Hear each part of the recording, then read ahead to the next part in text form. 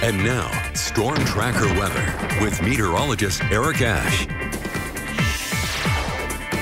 For today and the next couple of days, high pressure dominates, and what that means is moisture will skirt along the north of us, and that does have the possibility to create some showers and or some rumbles of thunder for the northern and western portion of the central mountains. So that's for the next couple of days and clearing our skies as well. Mostly sun, mostly sun giving us a warming trend. Warming trend continues into the weekend.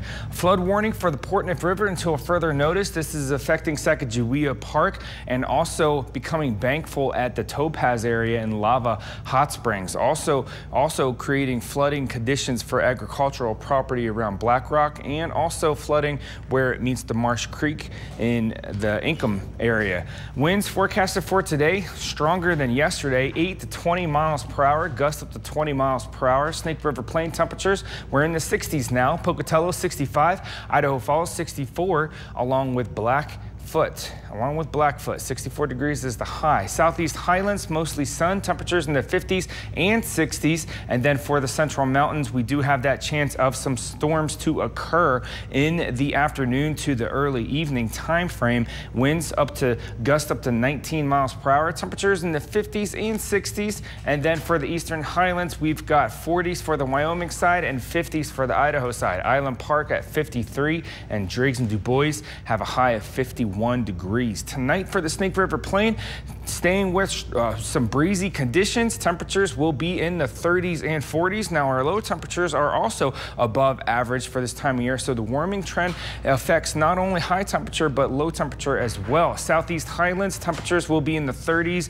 and 41 for Inkom and Preston. For the Central Mountains, temperatures will be in the 30s. And then for the Eastern Highlands, we've got 20s for Wyoming and the low 30s for the Idaho side. So some areas still getting below freezing for this uh, overnight, for the overnight hours. Snake River Plain tomorrow, staying with gusty winds up to 24 miles per hour, and this time we'll be in the 70s. So we're going to be hanging around room temperature tomorrow. Room temperature is anywhere between 68 and 72 degrees, usually around 70 degrees. Southeast Highlands tomorrow, will be in the 60s, 71 for Preston and Downey, and then for the Central Mountains, 60s and 70s as well. While 70 is only for salmon, the rest are in the 60s. Eastern Highlands, we've got 50s for the Wyoming side and 60s for the Idaho side, 59 for Dubois. Now here's the Southeast Idaho Chevy dealer seven-day forecast. Pocatello, a high temperature of 65 today, getting into the 70s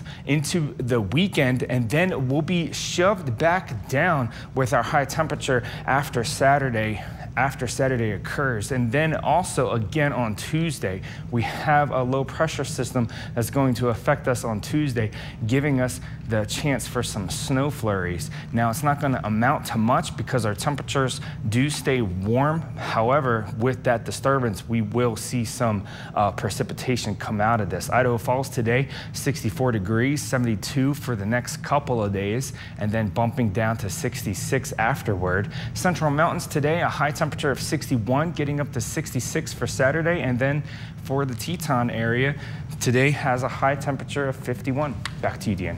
All right.